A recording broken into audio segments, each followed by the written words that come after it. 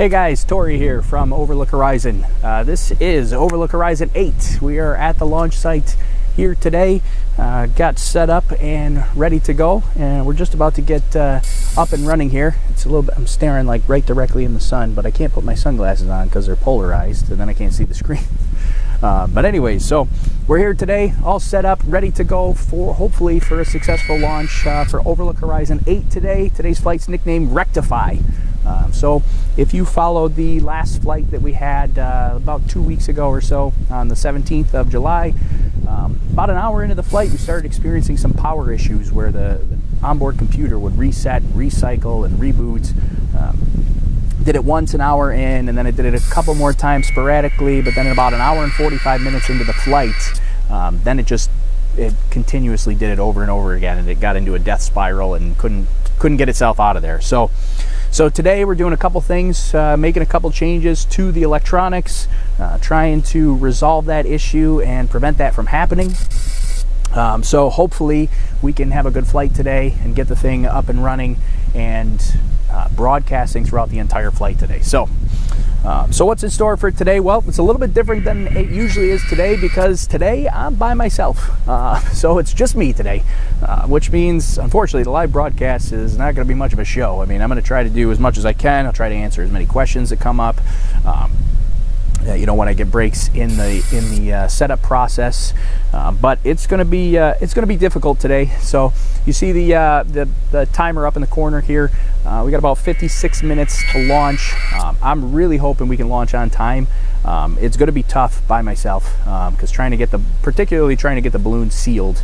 Um, and also trying to make sure I follow our checklist procedures. I mean, I got to stop and look at it every single time, making sure I don't miss a step. So, uh, so I'm gonna be uh, I'm gonna be hustling today, trying to trying to get it all myself. It's it's the middle of the day on uh, what day are we on Tuesday, so uh, so the rest of the launch team is uh, working and you know can't make it today. But I wanted to make sure that we went today at this particular time because the the flight path is so interesting for this time. And we'll take a look at it here real quick. Um, let me flip this over here to the flight path. So this is today's flight prediction. Uh, this is from the um, this is from the midnight prediction. There was another prediction that uh, that we ran at 6 a.m., um, which didn't deviate too much from this here. So um, so this is uh, this should be about the flight path that we expect today. So um, if you can see on the screen there, the red dot that's uh, just north of Canandaigua Lake there, that's where we are right now. That's our launch site. So we're going to do this kind of squirrely, you know, loop around here. Then it's going to head all the way back to the west um, towards Rochester.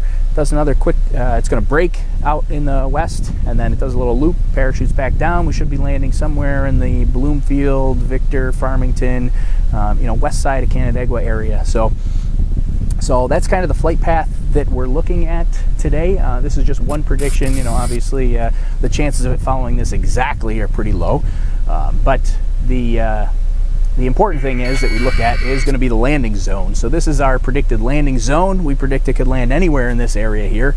Um, so obviously the red being the more concentrated area where we think it will land. Uh, yellow is a little less, and then green is kind of the outskirts of that. Um, it's not a foolproof process there. You know, we've had flights that uh, that land in the green. Uh, we've had flights that land outside of this zone completely, uh, but it's usually pretty close to this this landing zone here. Um, so that's what we're expecting today. It is a beautiful, calm day. Uh, there are, it's almost perfectly still out here. There are no winds, which is awesome for launching by yourself. Um, so, um, so we've got a, let's see, let's take a look at what we got here. See if uh, you can, well, you can see the sky a little bit uh, over my shoulder here. a little bit of haze in the in the sky, but uh, really there's not a cloud in the sky here. So we will, oh, that's not what I wanted. Launching now. No, we're not launching now. I wanted to go to this one. there we go. um, so here's our two cameras that we have for today. This is probably what I'm going to leave it on. Usually I don't do this split screen uh, for most of the broadcast, but I think I'm going to try to do this today um, so that we can, uh, uh, so you can get a different angle. Um, I don't know, it might drive you crazy though, because uh, this, the stream that I'm on is pretty up to date, pretty snappy.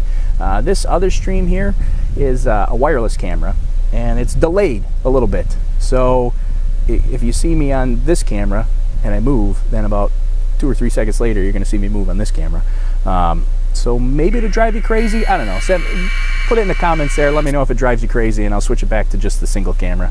Um, but I figure I'd give you a, a, different angle so you can see uh, see what's happening uh, while we're getting things set up and ready.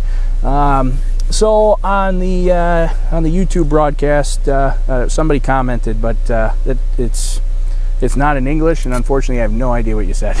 Um, but uh, if you can Google Translate that for me, uh, I can certainly uh, be happy to respond to your questions. Uh, uh, you know the best I can here. Uh, unfortunately, I mean I got to get going, so I'd Google Translate that myself. But I gotta I gotta get things up and running. So um, I can certainly respond after the broadcast as well too. But anyway, send me your questions. Randy, good morning and good luck. Thanks, Randy. Appreciate it. it's going to be a Going to be a tough one today just because I'm by myself and trying to get everything up and running, but hopefully things go smooth. Um, so we're, we're really hoping for a on-time launch and smooth broadcast, smooth flight throughout the whole thing. So we will see how that goes. Uh, not much has changed from the payload standpoint. We're still running three cameras, uh, two side cameras, one balloon facing camera.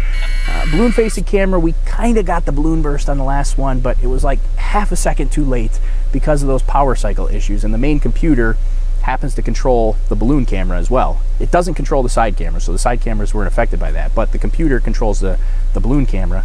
So every time it recycled, the balloon camera would shut off and turn back on again. So we kind of got the balloon burst on video last time, but it wasn't good enough. I want, I want better. I want a, I want a smooth video that we can see clearly. So that's what we're hoping for today. So two side cameras, one upward facing camera. Um, we'll see uh, see what we can get there for video footage. Jason, wish I knew you were flying solo today. I would have gladly helped out. Good luck today. Oh, thanks, Jason. Appreciate it. Um, that, that, wasn't the plan. Uh, wasn't planning on launching solo today. We were actually, uh, until about 8 p.m. last night, this was going to be a 5.30 p.m. launch time. Um, but the last prediction that uh, from 6 p.m. last night started pushing the, the launch site way out to the east. And it was getting close to Montezuma Swamp, which is a no-go. We don't want to land in the Montezuma Swamp. Um, and so then I started running some predictions, and that flight path started started uh, uh, the 6 p.m. Uh, prediction last night had the landing and the launch almost in the exact same spot. And one thing that I really, really want to accomplish is to try to get a really short recovery distance. I don't know, it's just fascinating to me. I'd love to, I'd love to, I love the idea of just launching right here, staying here, watching the balloon, taking my time packing up, and then just have a nice short drive for recovery. Um, so our predictions um, between 6 p.m. last night and midnight, uh, they were about, we were like three miles from the launch site and then it got to be about five miles from the launch site and then today this morning it's more like seven miles from the launch site something like that. So we we got good chance uh, a good chance of beating our personal record of um, shortest recovery distance the shortest recovery we had was on overlook horizon 2 it was 17.6 miles so if we can get anything less than 17.6 miles then we've set a new record today for shortest downrange recovery for ourselves so uh, so I'd love to see that in the single digits. Um, you know, if we can get anything less than 10, I think that would be just fantastic. So that's what we're going to shoot for today. But uh, all right, so I see uh, we just crossed the T minus 50 minute mark here. Uh, I'm going to get started. Uh, I want to get right into the balloon filling because I know there's going to be delays because I'm by myself. So um, I'm going to try real hard to uh, make sure. That's a very different prediction. Most flights go east. Yeah, it's it's really interesting that it, the landing is actually going to be to the west of our launch site. So that's kind of cool. I'm very interested. That's one of the reasons why I wanted to launch today during this time because uh, I love interesting flight patterns like this. You launch a balloon and it goes goes to the east. It's kind of like, oh yeah, that makes sense. But you launch a balloon and it does this crazy swirl and then it heads back to the west, and then you know that to me that's very interesting. So Um, so, anyways, good luck. Thank you very much. So, um, all right. So, I'm gonna get started filling the balloon up. I'm gonna show you our intro video. So, uh, if you've seen it already, because uh, we did publish it on YouTube, uh, apologies if you saw it already. But uh, I'm gonna show you the intro video. Shows you uh, what we got in store for today and what the plan is. Um, tells you a little bit about the changes we made for uh, for today's flight. Yikes! How are you gonna fill the balloon solo? I've done it once before, but it's not easy. luckily, very calm winds today. So uh, we'll see how it goes. I don't know. So, anyways, we're gonna we're gonna do our best. So let me show you the intro video. I'm gonna get set up, start filling the balloon, and uh, we'll uh, we'll uh, we'll answer that question uh, very shortly. How are you gonna fill the balloon by yourself? We're gonna answer that very shortly here. So take a look at the intro video here, and uh, when you come back, hopefully i will be started on filling the balloon. So see you in a few minutes here. It's a quick turnaround, but we're going again. Overlook Horizon 8 is launching today.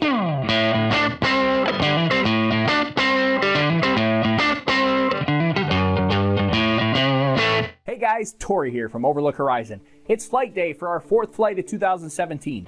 Overlook Horizon 8, nicknamed Rectify. The name Rectify for this flight represents today's primary objective, which is to resolve the radio transmission issues that we experienced on Flight 7. Our last flight seemed to launch perfectly and proceeded for an entire hour without any issues. However, less than halfway into our flight, we began experiencing a power cycle issue that caused our main computer to continuously reboot throughout the remainder of the flight, and we were unable to receive positioning reports. We're not exactly sure of the cause of this, but We've got some pretty good theories on what may have contributed to this, which we'll be testing on today's flight. Our computer restarts occurred consistently at the moment the radio transmission started. The radio transmitter is the most power-hungry device on our flight computer, so we believe our board was suffering from a brief voltage drop that occurred the moment the transmitter started broadcasting and using more power from the batteries. We've had a tough time replicating this on the ground though, as the batteries perform perfectly at ground level. So what changes during flight? Well, mainly the temperature. Batteries in general are notorious for having reduced performance in cold temperatures. One of the best ways to avoid this issue is to use a set of lithium batteries to power the payload, which perform well in cold temperatures down to negative 40 degrees. These are great and definitely where we recommend starting if you're launching your own flight. Side note, you'll notice I didn't mention whether it was negative 40 degrees Celsius or Fahrenheit, and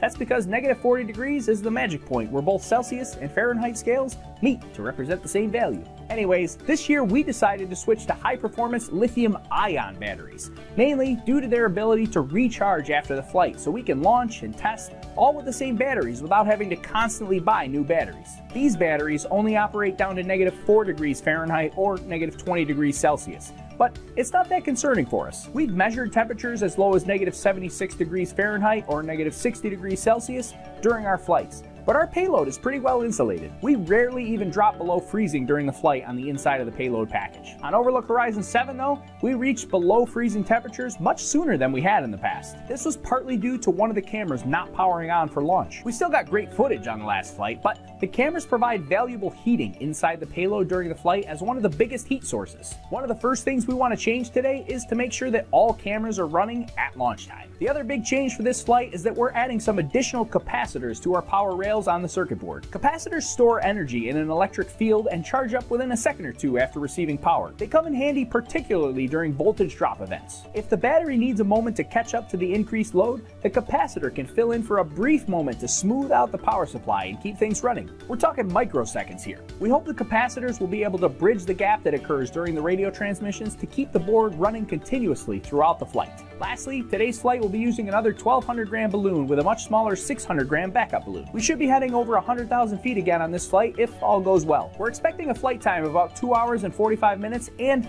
Today's flight is expected to land just 5 miles downrange of our launch site, so we're hoping to set a new personal record for our shortest downrange recovery today. Previously, our shortest downrange recovery was 17.6 miles on Overlook Horizon 2. So that's what's happening today. We've got just one more flight planned after today for 2017, which will occur in the afternoon on Monday, August 21st during the total solar eclipse in North America. So make sure you're following us on Facebook, Twitter, and Instagram to stay up to date on those flights. Also, be sure to subscribe to our YouTube channel so you don't miss any of our live live broadcasts, our in-flight videos, or the educational series videos we'll have in between flights. So what do you guys think about today's flight? Do you think our electrical fixes will rectify our broadcast issues, or Do you think this flight will be lost to the Anemoi? Those are the Greek wind gods. It'll be a nail biter, so follow along today to find out and let us know what you think will go down in the comment section down below. I'll try to answer as much as I can during the live broadcast today, but this midday launch time in the middle of the week means I'm launching solo today. I've only ever done that once before, so wish me luck. Now, let's head back to the launch site, hopefully to see a successful launch today for Overlook Horizon 8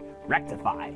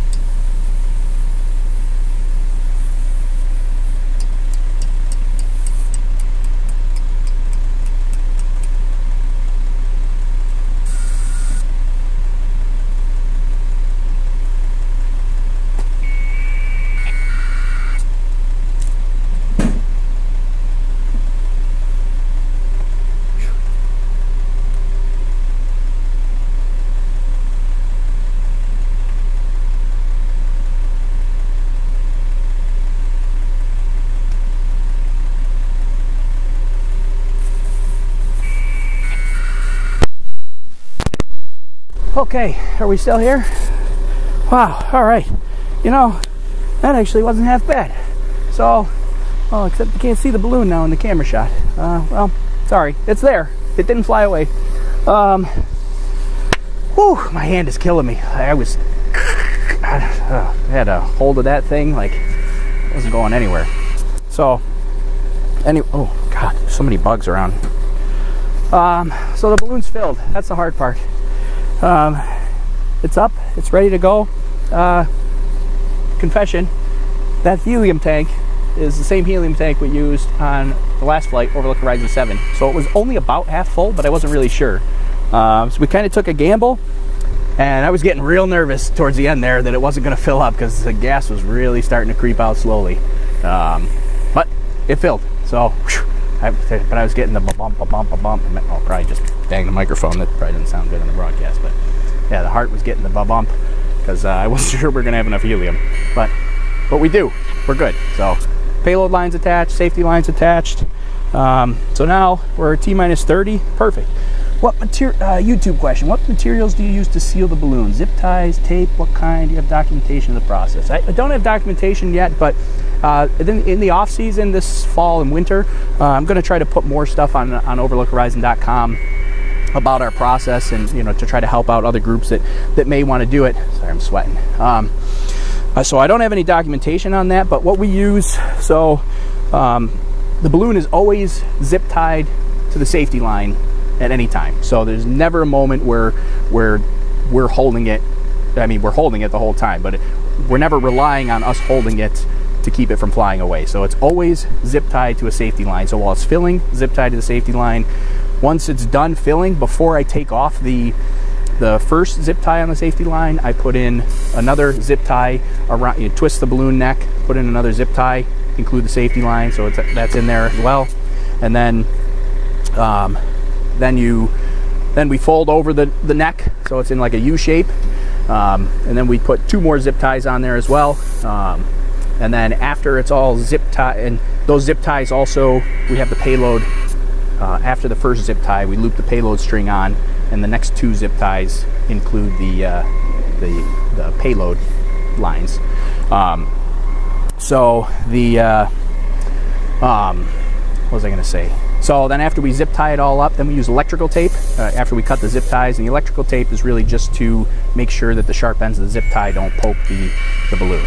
Uh, you could do without the electrical tape if you're if like a calm day like today. Probably don't probably don't need it because the balloon's not waving around like crazy. It's pretty kind of just sitting there. But uh, uh, in a windier day, you kind of want to have uh, that electrical tape so if the balloon kind of blows over, it doesn't catch one of the sharp edges of the zip tie. So. Um, so that's what we got. Um, all right, I got to get moving again because our next thing is T minus 30, so just a few minutes behind, but I'll catch up. So just wanted to give you a quick update, and uh, we're going to move on to get the payload ready.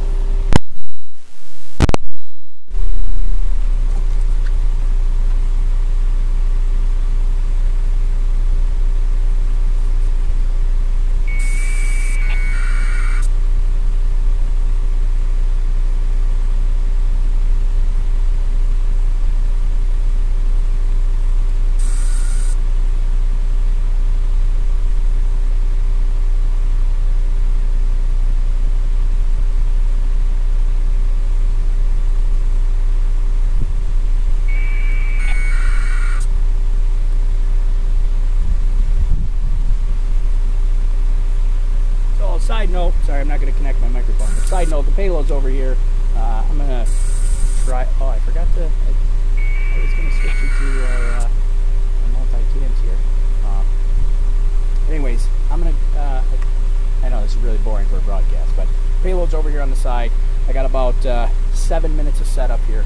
So just bear with me for a minute. I'm going to get it, once I get it disconnected from the car power, I'll bring it over here and do the setup here so at least you got something to look at. But for now, you see the balloon waving in the sky. I can even go like this for you. You can see that. Ah, there it is. Just in case you didn't believe me that the balloon is still here. Okay, uh, be right, right back.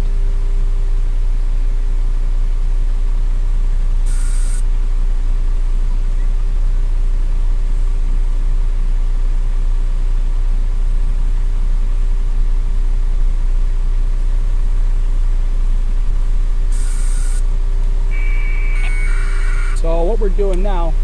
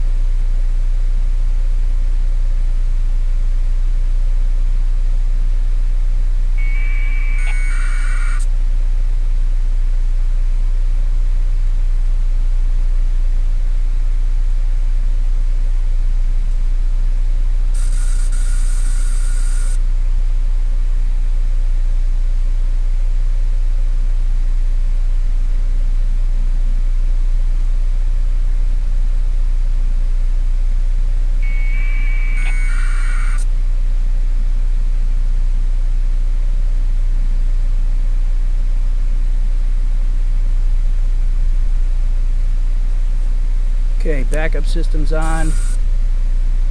Let's just verify that it's actually working.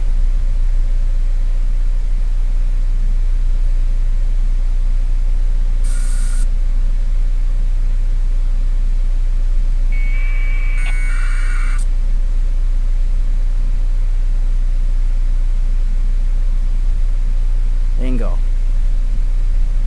Backup system's working. 23 minutes. We're doing well here.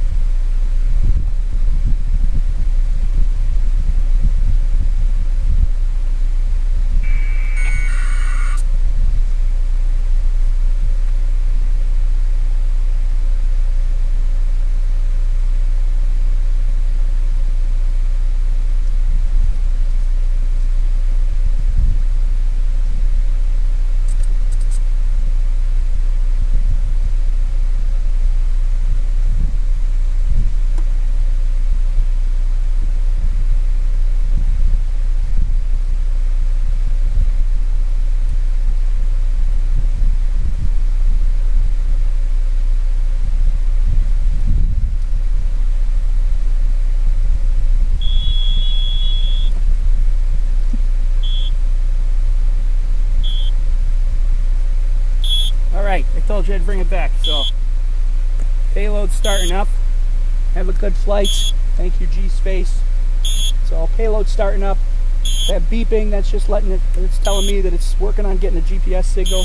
We don't have one yet, but it's working on getting a GPS signal. Uh, so when those tones stop, we'll be in good shape.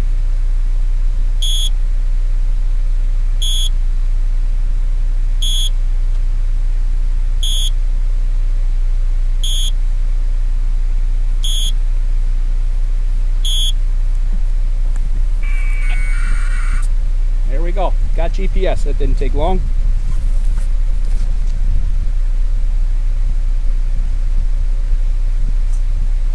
Got a radio signal. We're good to go. So now let's see. Yeah, we're we're actually we're ahead of schedule here. Way ahead of schedule.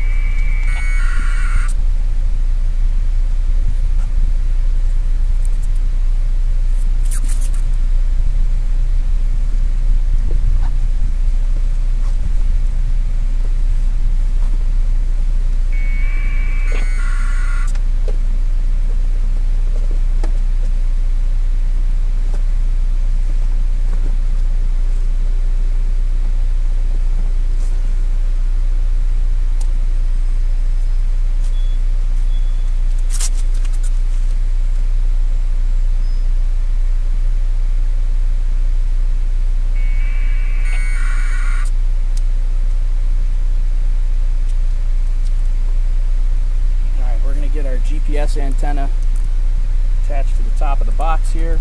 So that's this little dangly bit. Still got the double-sided tape. Oh, here, I can, let's switch this.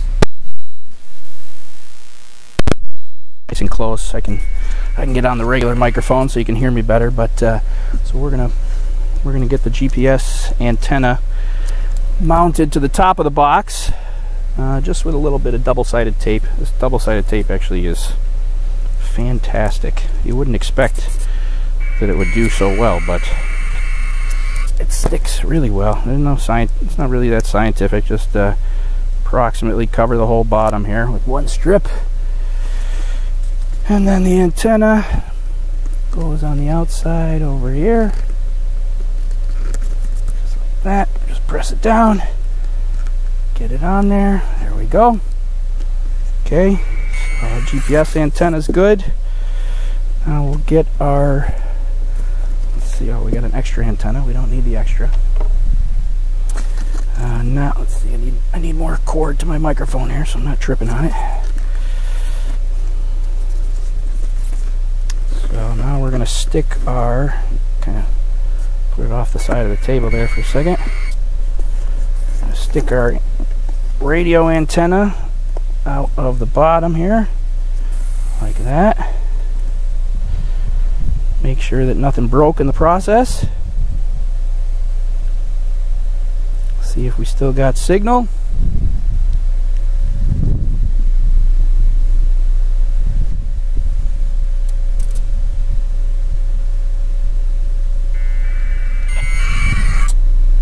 yep still looking good okay so now, now I'm doing my FAA due diligence. I'm going to call the Rochester Tower, so I'm going to walk away for a second.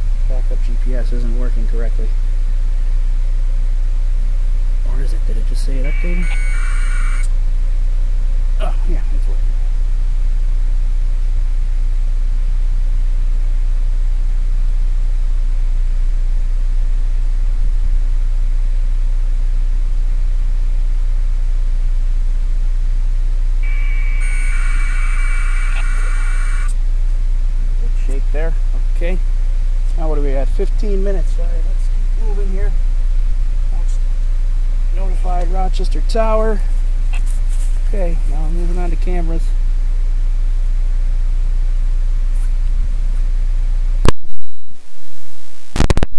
Okay, sorry if you're asking questions. I don't. Uh, here we can switch to the. Uh, let's go back to the main camera here.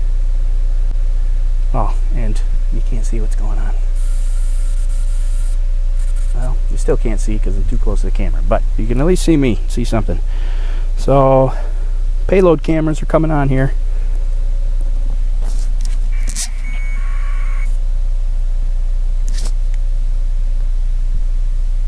Or not.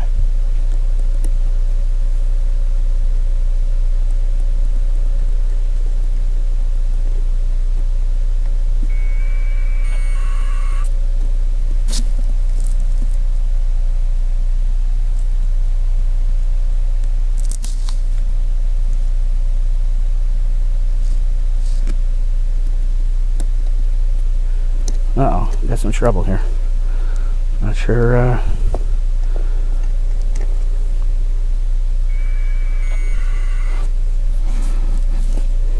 not sure what's going on here with that. Cameras didn't come on. Let's try again.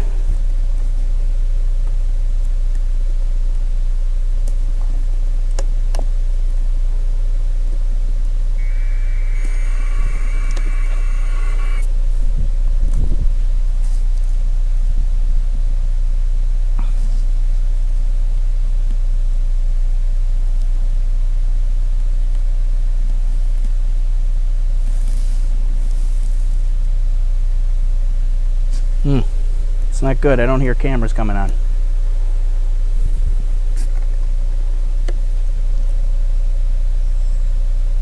Balloon camera came on.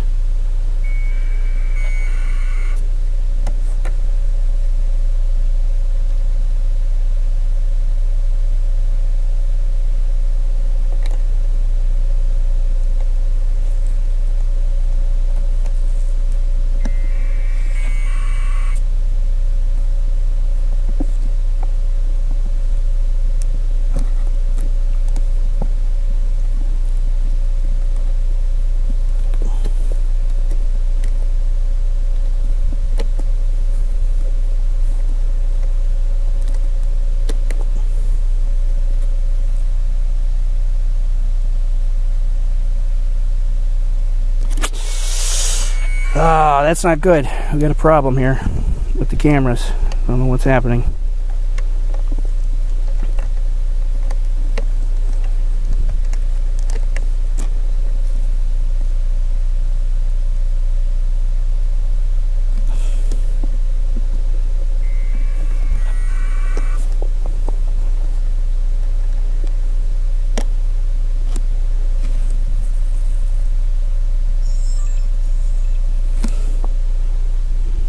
So I got the cameras to power on.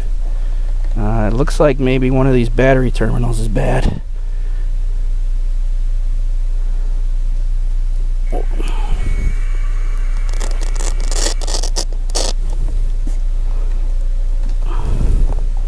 Or the battery's bad. We're gonna try to try to fix this real quick.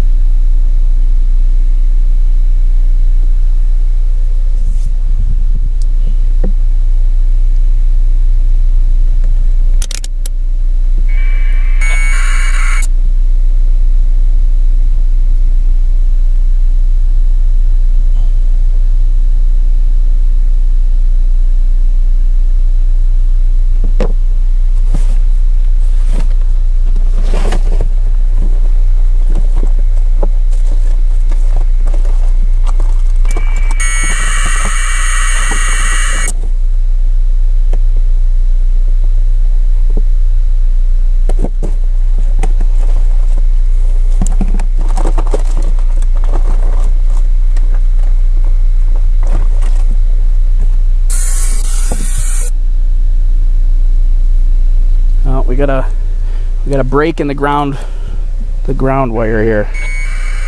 Don't know why or where because it looks like it's connected just fine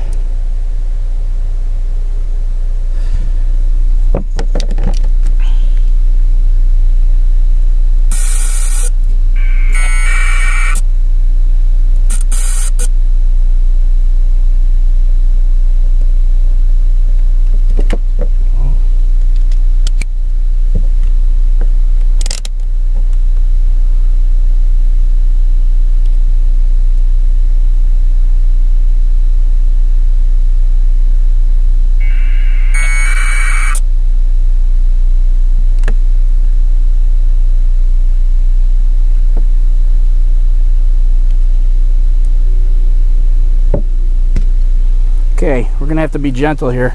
I, oh yeah, of course, as soon as I say we gotta be gentle, I drop it. Um, there's a there's a break in the wire there, and uh, I don't, I don't think there's anything I can do about it quickly. But I'm getting power at the moment.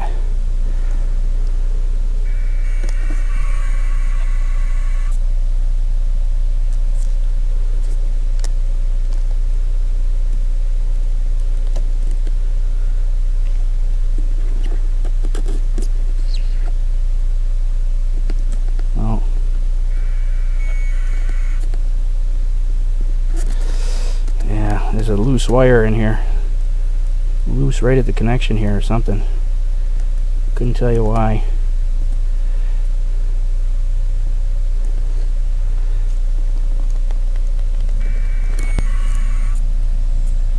Okay. It's on. I'm just gonna not gonna touch it. Where are we at? 750 okay. Yeah we got all that yeah.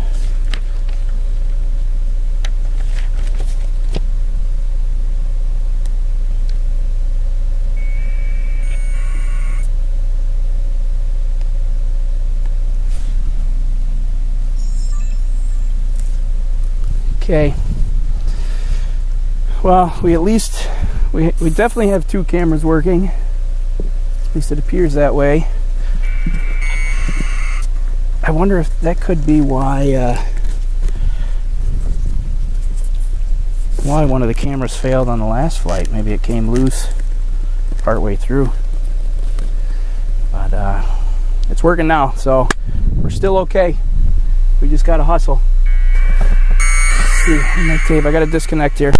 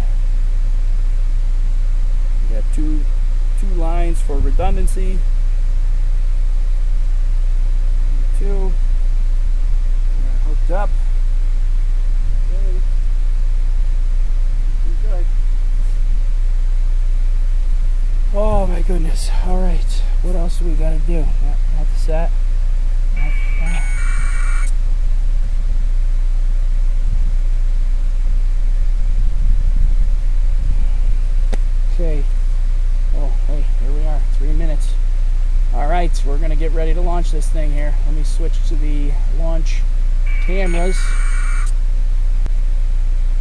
Okay. Here we are. Launch cameras. Let's see here.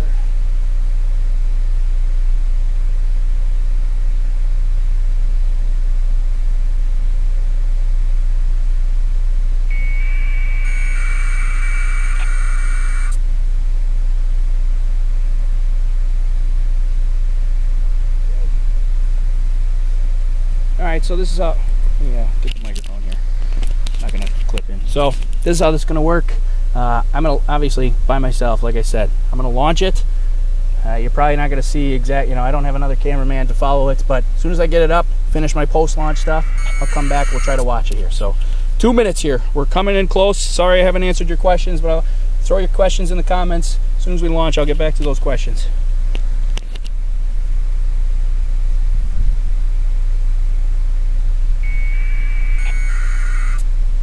Looking good.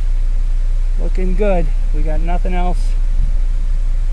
Nothing else to do other than launch. So I'm gonna, I'm gonna cut the cut the safety line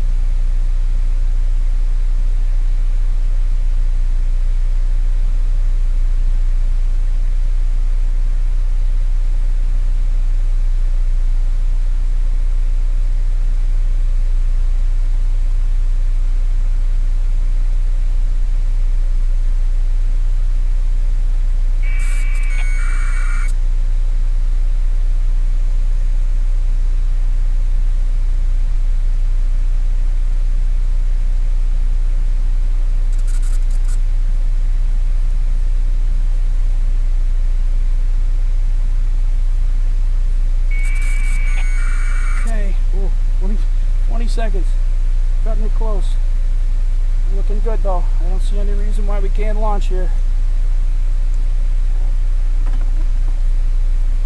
So we're pretty much stand over here. Get the camera shot here. Four, three, two, one. Oh.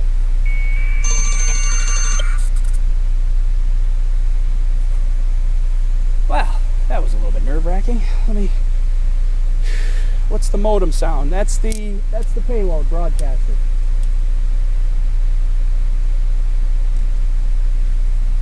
Oh, we're looking for signal here.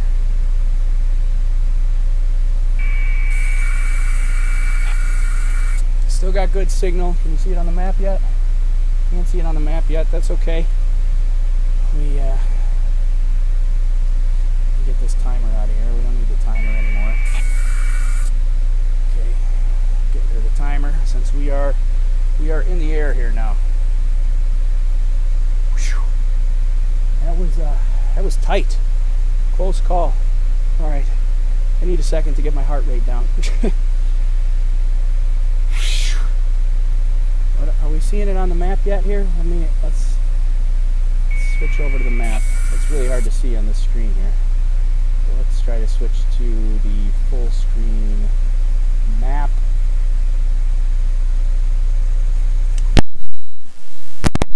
All right, I'll get my regular microphone back on. Okay, so we are in the air. We launched on time. I can't believe that, especially given that, uh, especially given that I was by myself. I gotta get real close to the screen because I can't see. Oh yeah, looks like we got, looks like we got signal and we're on the map. Oh man, yeah, my my heart rate is super high right now, so I need to. Uh, we gotta cool it here for a second. But let me uh, let me take a look at the map. Just verify that. Let me verify that everything's okay here. I see I, I got some comments. I see the comments here. I'll get back to them in just a second here. But let me. I can't really see the map that you guys can see. So you guys can see the map, but I'm just checking. Uh, let's see. Yeah, 2,388 feet.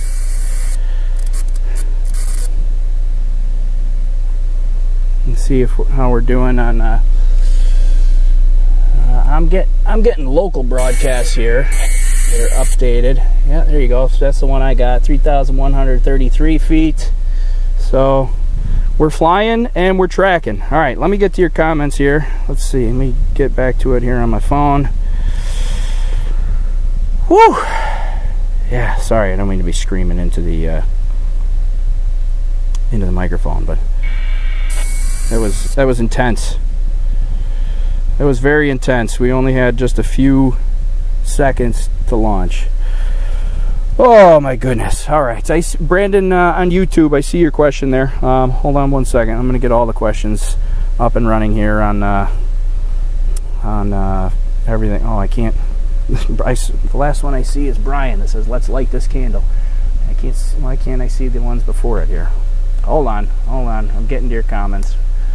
One moment. You see our nice, lovely map there. Hopefully, the map continues to update. I keep hearing broadcasts. I haven't checked it here, but uh, let me. Uh, let's get to.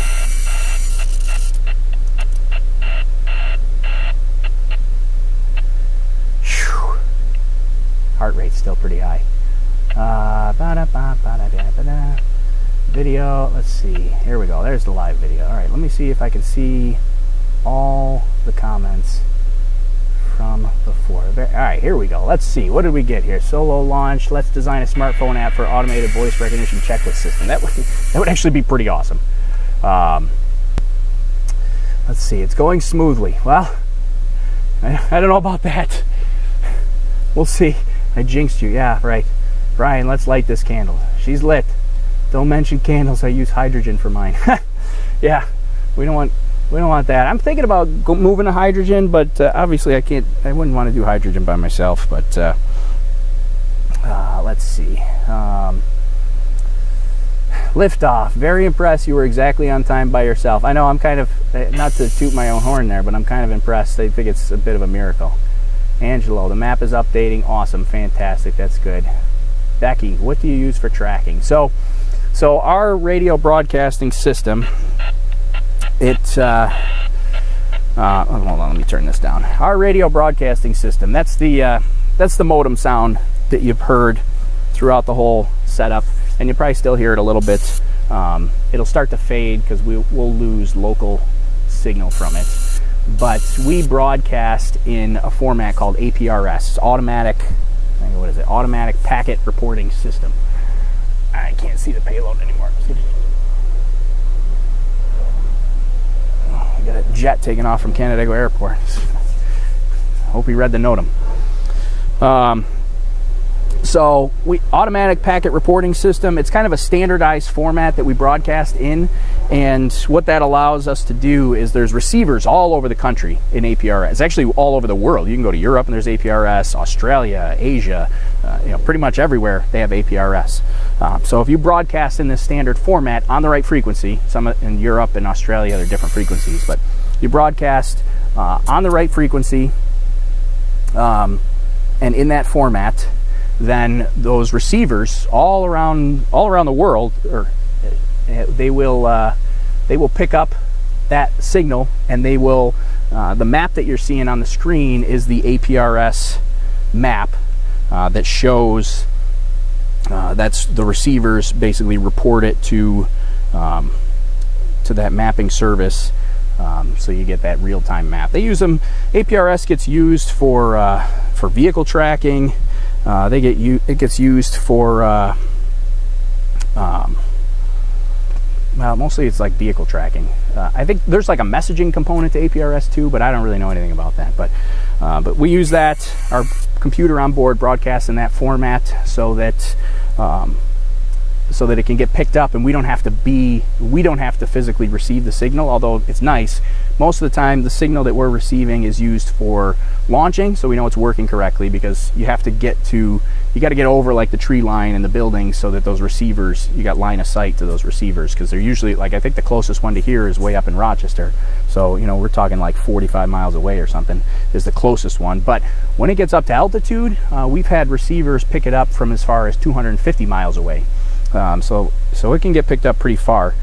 Um, so we use that and then we use the map, which we can track on our phone. And, um, you know, obviously you can do it on the computer there. You see the little web address here uh, at the bottom of the screen, overlookhorizon.com slash map. You can track it to yourself if you want to follow along and see how it's, see how it's going.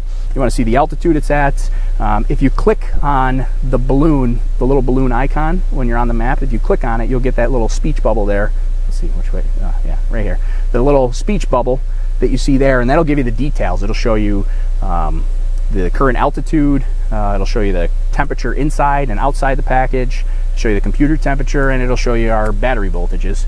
Um, and really, I mean, you might not care about any of that, but, but we do. I want to know the batteries are performing well. It tells me how many satellites the GPS is locked onto, so um, so yeah, it's uh, uh, standardized format. So let's see. What I got another question on YouTube. Um, total newbie to this. What does it take to launch a weather balloon? FAA approval? Anything else? Um, it, surprisingly, it you can actually launch a weather balloon in the United States without FAA approval. Um, there are um, there's what's called exempt flights, and our flights are actually exempt flights. Which basically an exempt flight means that it's small enough and lightweight enough that uh, the FAA doesn't govern them. They're un, um, unrestricted and you know unrestricted in the sense that you don't have to get clearance you don't have to file with the faa so uh, you know you got to make sure if you go to overlookhorizon.com slash safety you can see our safety procedures and what we do and what's required by law in the united states for launching a weather balloon but generally if you keep it small and lightweight you know we're talking like under four pounds you got to use lightweight string that can be broken by 50 pounds of force. Um, and you know it's got to be small, lightweight. Usually, like ours is a styrofoam payload package. Um, you know that ensures that it's it's safe to operate in the airspace. Um, if you go into non-exempt flights or heavier flights, then you do have to get FAA, uh, or you well, you don't have to get clearance, but you have to file an FAA notification telling them, hey, this is what we're doing. Now, we actually operate exempt flights and we're lightweight. but we follow the heavyweight non-exempt procedures. And really it's just an extra bit of safety that we can do. I mean, it only takes a few minutes. I mean, you saw, I don't know, if, if you saw me call the FAA at T minus 15 minutes, uh, you know, that that's not required, but I work with the FAA directly ahead of time, like weeks ahead of time, usually, let them know what's happening, what's going on. And they, you know, they very much appreciate those notifications, even if you're not required to do them, because uh, it just lets them know what's in their airspace and they can plan around it. They can route traffic around it if they need to, or just advise pilots that, that it's nearby. Um, so just to be extra safe. So no, you don't need FAA clearance, but I definitely recommend, even though it's not required, notifying the FAA. Uh, it's pretty easy to do. It takes like 10 minutes. So uh, like uh, about midnight this, this morning, I sent my formal notification. It goes to like seven or eight different people um, at the FAA. Usually if you start at your local uh, flight standards district office for the FAA. They can tell you where to uh, or who to contact. Um, but we we filed those that notifi- that formal notification, and then they came back and they said they said, "Hey, great, thanks for the notification." And they said, "Would you mind also giving us a call 15 minutes before you launch, so that we know that that's uh, that's happening?" And that's what we did at T minus 15. I called them up, said, "Hey, we're launching," and uh, that's uh, that, that was that. It, it took two minutes and it's a piece of cake. You add it to the checklist so you don't forget, and it's nice and easy. So, uh, let's see, Brandon, how long are flights? When do you begin recovery? So, flights are usually they can be anywhere from like smaller balloons can be hour and a half. Uh, larger balloons can be three or four hours. Uh, today's flight's two hours and 45 minutes. Um, should be, I mean, give or take 15 minutes. Could be two and a half, could be three. Should be somewhere in that range. Um, that's what we're that's what we're expecting today. So, um, and when do you begin recovery? I mean, usually we begin recovery. I mean, it's based on the flight pattern. So, um, let's see. I just want to check. I'm checking the map here again. Yep, 10, 11. We're doing good on tracking. So everything's still still on track. My heart rate's my heart rate's coming down. That's good. Um, yeah, sorry. Um, so, hi. Uh, where can I see on the map where the balloon is now? Um, so on the map that you're seeing, there's a little balloon icon there uh, that shows it. But if you go to, over, there's a web address right here, overlookhorizon.com slash map. It should take you right to the APRS website and center it right on our balloon. Um, and then you just, you can click on the balloon icon to see the details of it. Um, so, anyways, uh, going back to Brandon's question on YouTube, uh, when do you begin recovery? Uh, is based on when where the landing is going to be. So today's landing is really should be really close. Uh, here, let's take a look at. In case you missed it from earlier, let's take a look at the predicted flight path here real quick. Um, so this is our prediction for the flight path today. This is what we're expecting to see. Um, so this is actually a really close downrange landing. We're talking less than 10 miles.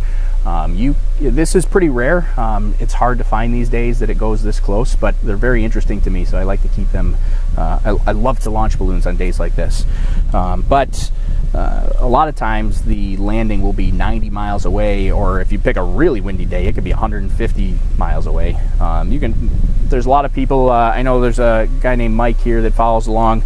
Um, I'm not even, Mike H. I'm not even going to try to pronounce your last name because I know I'll butcher it. Um, so sorry, Mike. But uh, Mike, uh, I believe it's Mike, uh, that does he does uh, around the world flights. So they're long duration flights um, using a. Uh, um, I think he uses super pressure balloons. I'm not sure what kind of balloons he uses, but so but you can do long duration flights uh, that go all the way around the world. And there's some people that launch those flights and they go around the world 9, 10, 15 times and they get signal the entire time. Um, so it's pretty cool, but our flights are usually two, three, four hours in a rare event, but today's flight should be between two and a half and three hours. Should hopefully, we're predicting it to follow this flight pattern here that you see on the screen.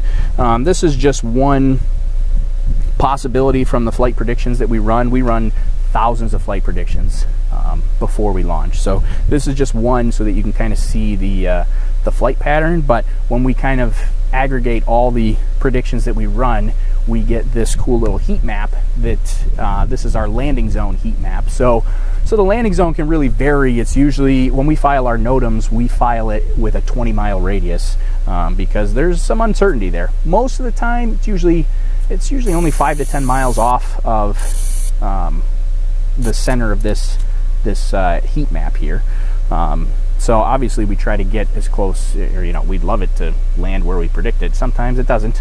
Uh, the last flight wasn't even close on the prediction. I don't know what happened there, um, but uh, that was uh, um, that was odd from the last flight. But we had some strange winds then. A lot of times when you get these strange wind patterns, um, like the ones we're seeing today, um, the predictions become less accurate just because there's so many changes in the wind that uh, you know it could change just slightly before predicted or go a little bit farther than predicted um, you know that so sometimes they're not accurate. Also the balloon filling procedure is uh, I mean it's relatively accurate in, as to how much pull there is on the balloon but there is room for error particularly on windy days. Today's not that windy so I feel pretty good about that we had it inflated. I haven't checked the ascent rate yet uh, we'll have to check and see uh, see what we got for an ascent rate because um, we're looking for uh, uh, today we're expecting to go 850 feet per minute. Uh, it's actually a little higher than that. I think it's like 856 or something like that.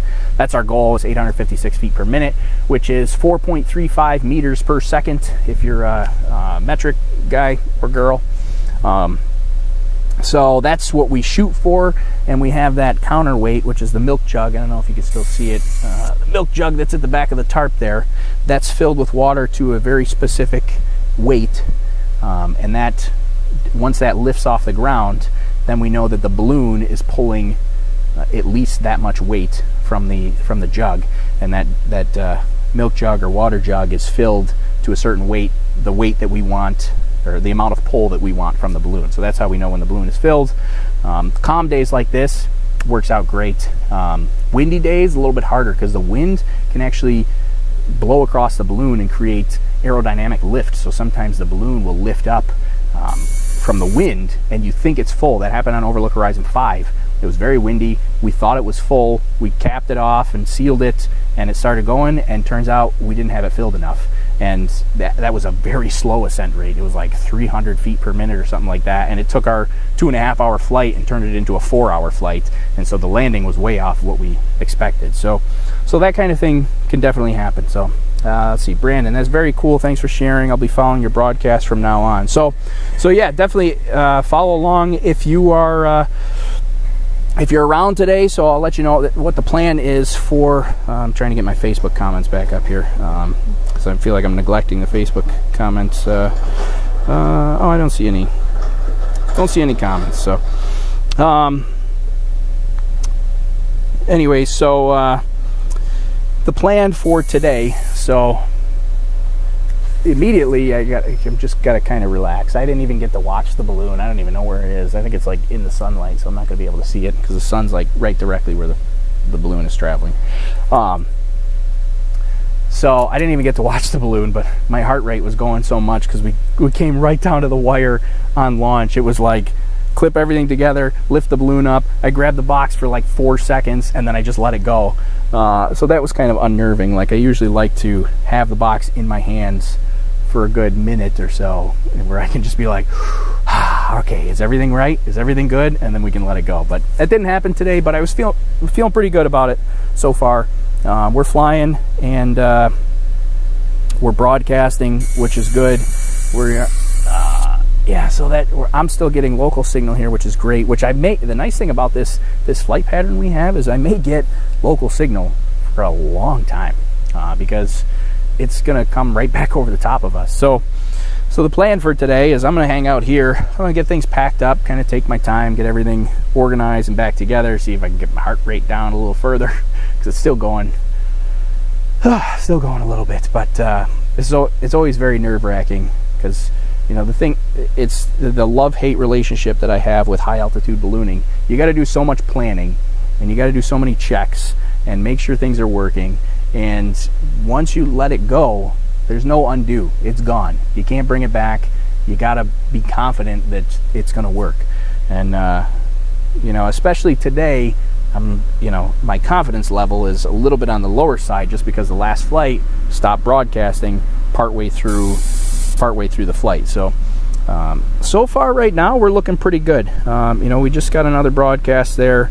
Uh, we're at 17,000 feet. We're going 10 miles an hour, so a nice, nice leisurely pace. Um, so 17,000 feet, we are up, and um, we're we're we're things are good so far. So you know, I gotta we gotta wait and see. We didn't start seeing problems on the last flight until an hour in. So uh, you know, 11 o'clock is when we started seeing problems. It was also a lot colder in the upper atmosphere on the last flight, which may have affected the uh, the electrical and broadcasting issues last time around. So this time around, it's pretty warm out on the ground level, which was nice. And I also had the payload in the sun. It kind of warmed up the internal uh, package quite a bit, and uh, hopefully that will stay um, it'll stay warmer longer on the inside of the payload and help uh, help performance uh, on those batteries. So we're still, I mean, it's 30 degrees outside the package where it is right now, and it is uh, 90 degrees inside the package. So it's still toasty inside the package, which is which is great. Um, so, anyways, we're going to keep an eye on this and see uh, hopefully everything goes well with this flight today. Um, you know, I really hate uh, I hate this part, especially uh, especially knowing that the last flight had issues. Um, here, I guess you don't have to stare at my flight prediction here. Let's go back to the actual map itself, so you can so you can see what I'm seeing on the map. Because I keep looking at my phone, just checking the map here, um, just making sure things are working well uh, 18,000 feet now. Um, yeah, so it's it's going well. We're starting to make that upward turn now that we saw in the predictions. Um, so oh, there you go. It just came up for you guys. So um, so yeah, we're starting to make that upward turn, and uh, it's looking good. So so I started saying, uh, so I'm all over the place, but the plan for today, hang out. I'm gonna get things packed up here. Probably end the broadcast here uh, shortly um, if I don't see any more questions come in. But um, we will uh, we'll be tracking it, and then pro I'll probably do a mid-flight update um, somewhere close to balloon burst. Usually is what I'll try for. Um, and then we'll do a recovery update uh, later on. Uh, it's all dependent on mobile data, but this is staying pretty close, so I'm pretty uh, pretty confident that we can uh, we'll be able to broadcast later. It may there's a possibility if you're watching on YouTube, there is a possibility that our later broadcast, I'd say it's very likely actually, our later broadcast may be Facebook only. Um, so if you're not already following our Facebook page, um, definitely go over and head over to the Facebook page and uh, and give our give our Facebook page a like um, so that you can uh, here I'll put it up on the screen. Um, give our Facebook page a like because the, the later broadcasts will likely be Facebook only, um, just because it gets harder. I mean, it's it's easy to do both Facebook and YouTube at the same time at the launch site because I get set up ahead of time. I got the computer up, I get the monitors, I got my modem, I got everything. You know, everything's running here.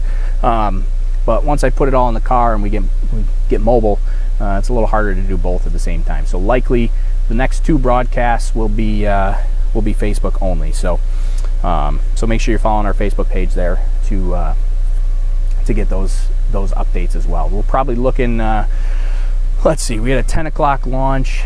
Um, I don't know what that sound was. Something just made a sound. Oh, it was my ground camera here. Um,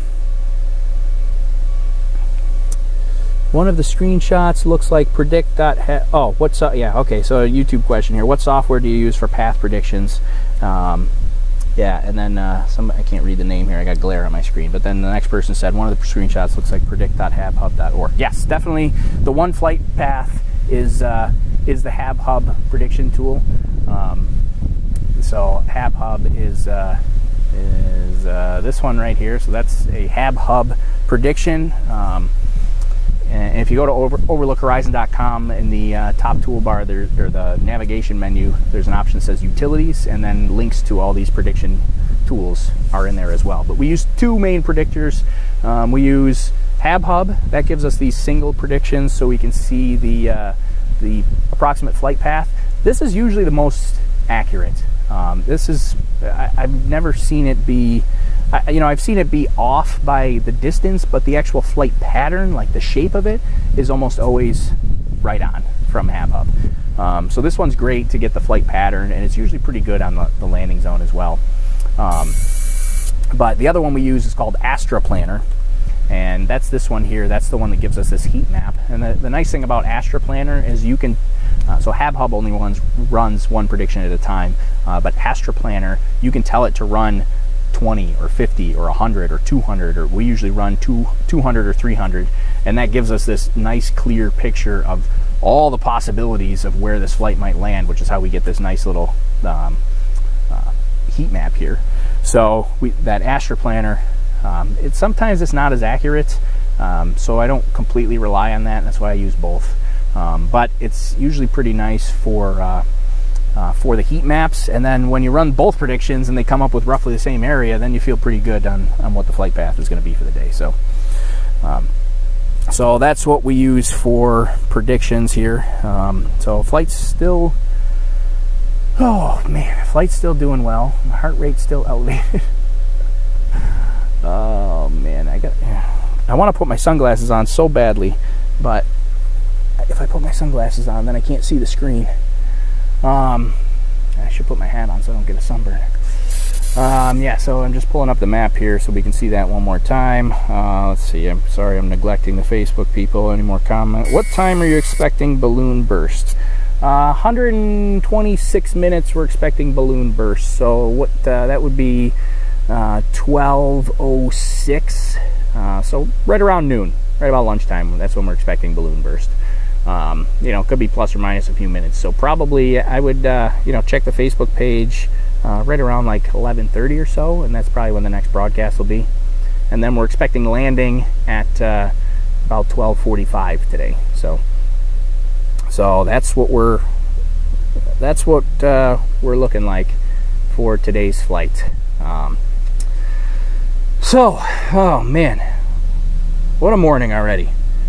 It's a little bit stressful getting uh, getting it up and running on my own, but we did it.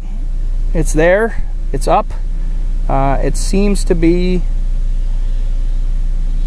yeah seems still broadcasting and doing well so we're at 20 21,600 feet uh, let's see I'm I'm still receiving local signal here on the ground which is kind of cool um, and it's nice because I don't have to move and go anywhere so uh, I gotta I've been talking forever though. I gotta I gotta get a drink. So excuse me for one moment while I take a drink in front of all of you. This is not a Gatorade commercial, but I am gonna take a drink of my Gatorade. But take note, Gatorade. If you want to sponsor us, we could probably work something out. Um, so let's see. Uh, yeah, I don't see any more. Don't see any more YouTube comments. Uh, my phone is about a thousand degrees in the sun, as as am I. Um, will you have RF and be beaconing from the chase vehicle? Um, yeah, well, the chase vehicle, uh, we're not going to. Uh, I don't have any radio transmitting on the chase vehicle. Uh, I do have that capability, but I just didn't bring it today. So, chase vehicle will not be broadcasting radio signals, but if you use HabHub's tracker, if you're familiar with that, um, it's a little more uh, complicated for the average user to use, but I think that question was from Mike. Uh, you know, so Mike probably knows uh, Hab, the HabHub tracker. I will be using HabHub's um, Chase Vehicle app, which will upload our Chase Vehicle location during the broadcast, and that just comes up on the HabHub tracker as KD2 KPZ underscore Chase. Um, so, so you can definitely take a look at the uh, um, you take a look at the the HabHub map and you can see our chase vehicle. And the later broadcast that I do will also I'll show the the chase vehicle and where we are in relation to the balloon later on. So. Uh, question on YouTube from Brandon. Is this just a hobby for you or are you associated with a school research facility? No, so uh, mostly a hobby. Um, so I started last year. Um, so we've done eight flights now. started last year and it was really just a, a hobby just kind of a let's see if we can do this kind of thing. And uh, we did four flights last year, and by the end of the summer, without even trying, I, we had tons of people that were interested and um, sending us messages and how do you do this and how do you do that. Sorry, I got a cement mixer right behind me. I don't know what he's doing, but you might hear that in the broadcast. But um, so, anyways, uh, by the end of the summer, I, we had tons of people that were just interested in following along, and I mean, it, it produces some really amazing photos and videos that are pretty awesome. And that's my favorite part. Is just well, I don't know. I like the whole thing, but the photos and videos it gets are pretty awesome. Hopefully, we get them today. We did have that. We did have trouble with the one camera, which I switched it to be the balloon-facing camera. It was one of the side cameras, but I'd rather the side cameras work and sacrifice the balloon camera. So it was working when I closed up the payload. We'll see if the balloon camera lasts for the entire flight. I'm not sure if it will because there's a loose wire in there somewhere. I guess I got to fix that for next time. Um, but anyway, so it started as just a hobby, and then uh, in the off season, the fall and winter this year, um, kind of ramped it up and gave it a more polished look here with our, our, you know, we did live broadcast for our launch last year, but you know, I wanted to, uh, you know, wanted to start providing some resources for for students, for educators, uh, or people that just want to do it themselves, because uh, a lot of people don't know don't know how to do it. They don't know what's involved in it, and I, we have, unfortunately, we've seen some people do it wrong, or I mean, wrong is a wrong is probably not the word the right word to use, but um, we've seen people not follow some of the FAA guidelines, particularly with um, weight and ropes and some of the restrictions that that you have to follow. So, you know, we wanted to just contribute to uh, to the environment, and if we can help educate people that are going to do it themselves, or even uh, in the last launch, we had the Boy Scouts from Canandaigua here checking it out. They get to see you know what this is all about, you know, the technology that goes into it. Um, you know, so we wanted to just share some of that stuff as to what what goes into a lot of this and how it uh, how it works, how it operates. Because there's a lot of you know there's there's physical science as far as the environment and the measurements that we get and the wind predictions and all that kind of stuff. There's also um, there's computer science with the actual computer tracking system and the code we write. There's ham radios with the APRS broadcasting that we do.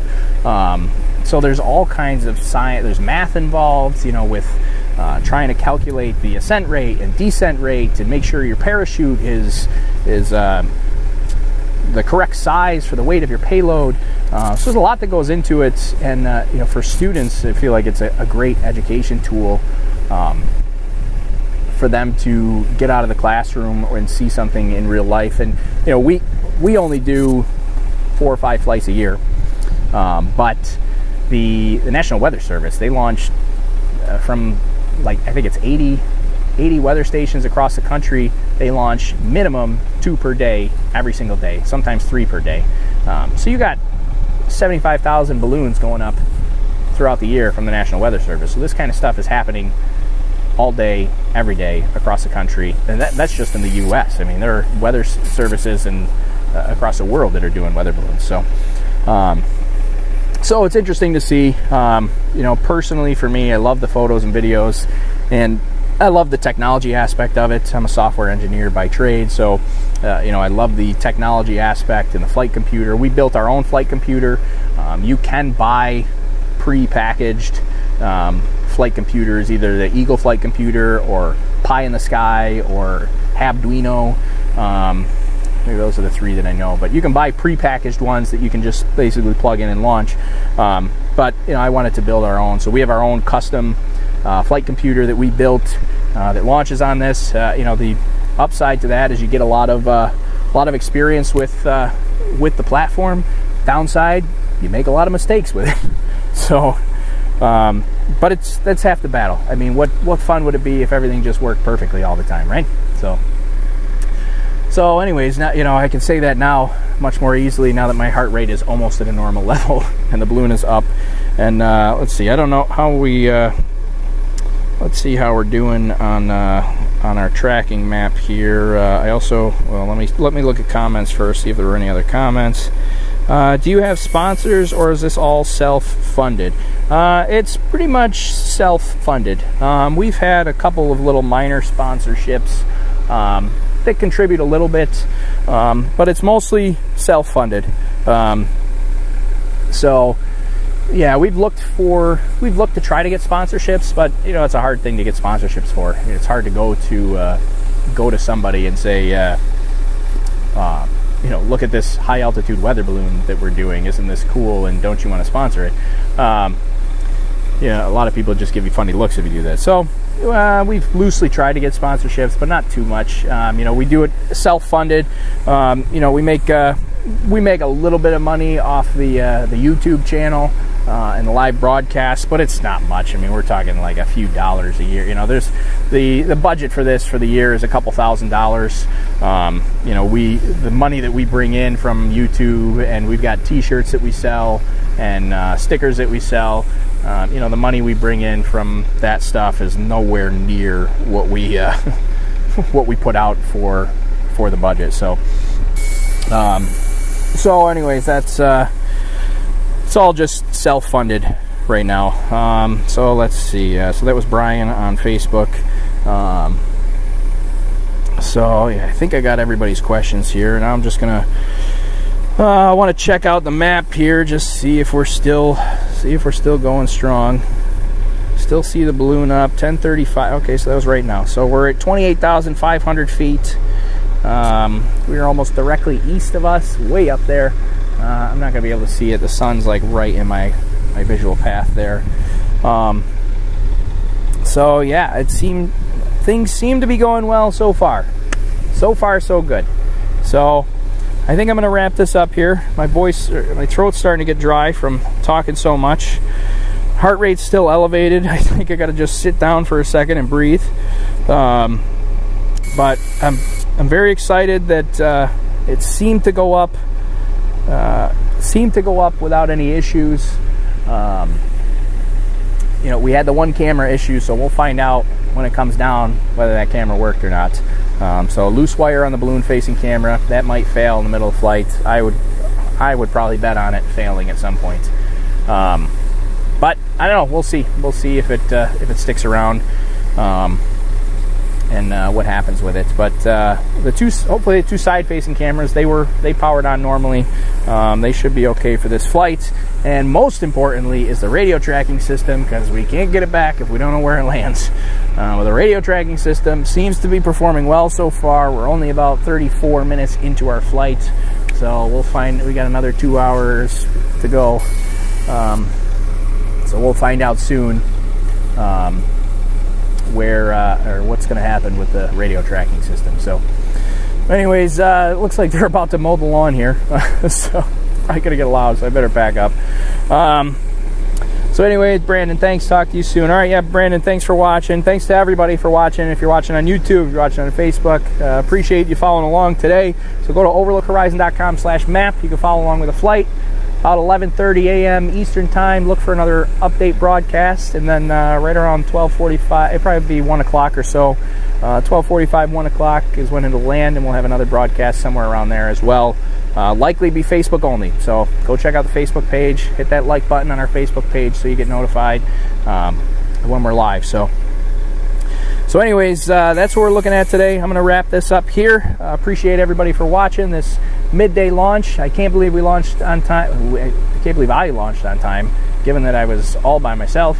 Um, but it worked. So, uh, so I'm happy about that. And uh, just about everything went off without a hitch. Just that one camera issue, which we'll we'll fix for next time. But not much I could do about it today. So.